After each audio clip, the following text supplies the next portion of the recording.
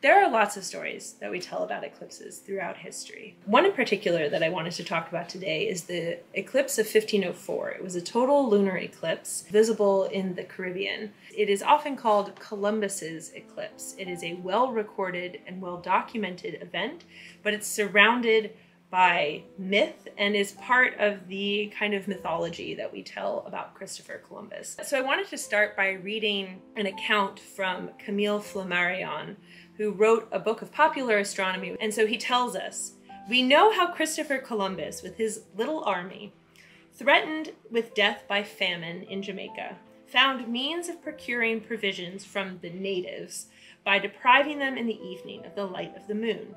The eclipse had scarcely commenced when they supplied him with food. This was the eclipse of March 1st, 1504. Flammarion gets this account actually from Columbus's son.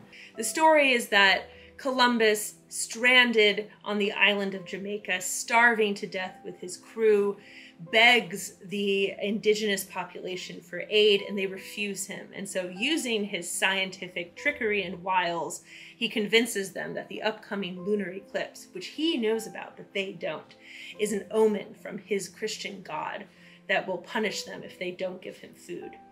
The eclipse happens, it succeeds, he's fed. This is a very popular story. You see this pop up a lot, and as far as I know, it is largely fabricated. Columbus almost certainly did know about the eclipse. What is less certain is that the indigenous population of Jamaica had never seen a lunar eclipse before. In fact, there had been an almost identical lunar eclipse six years earlier at exactly the same spot. They almost certainly knew what an eclipse was, and it was incorporated into their own uh, mythology, their own religion, their own practice. But I think that the story is really telling, and it really speaks to the way that we tend to mythologize somebody like Christopher Columbus. And in this version of the story, astronomy is used as a tool of imperialism, it's used as a tool of colonization, when in reality, astronomy was a science that was practiced equally by indigenous populations and Europeans. So I think we should ask ourselves why we like to tell this story, why this is a story that has endured for so long. What does this tell us about ourselves? What kind of narrative do we want to tell?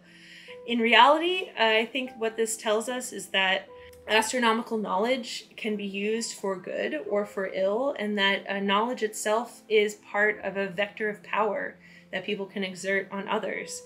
And uh, that it's important when we're examining these historical stories to think about what the sources, think about where they come from, and think about uh, what the, the reality probably is, because it's almost certainly not this. This has been Dr. Katie Boyce Jacino. Follow us for more collections content.